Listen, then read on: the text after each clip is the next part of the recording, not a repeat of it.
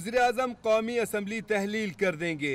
अहम खबर आपको दे रहे हैं, पाकिस्तान पीपल्स पार्टी के सीनियर रहनमा मंजूर वसान ने पेश गोई की है कि वज़ीर अजम कौमी असम्बली तहलील कर देंगे। आपको बताएँ कि मंजूर वसान ने विफाकी हुकूमत के मुस्तबिल के बारे में अहम पेश गोई कर दी है।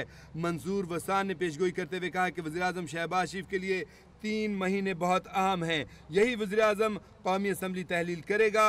उन्होंने कहा कि सूबाई असम्बलियाँ रहेंगी, लेकिन कौमी असम्बली तहलील हो सकती है, फिर इलेक्शन होंगे। मंजूर वसान ने कहा कि हालात तीन महीने में कुछ भी हो सकते हैं।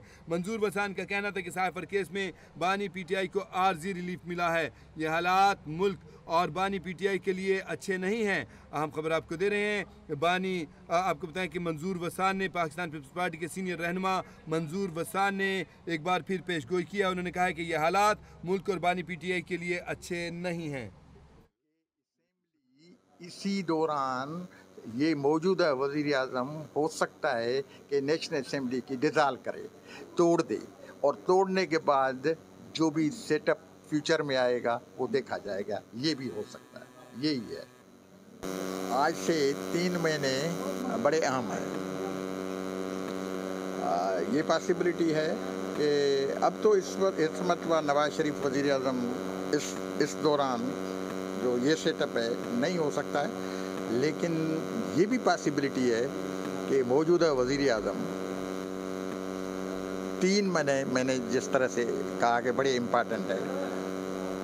नेशनल असम्बली की असम्बली डिज़ाल्व भी कर सकता है।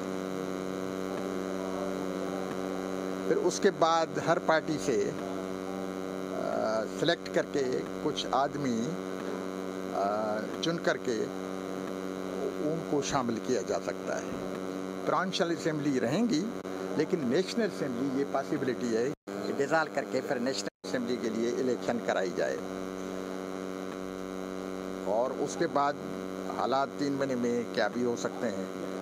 लेकिन सूबे रहेंगे और इन हुकूमत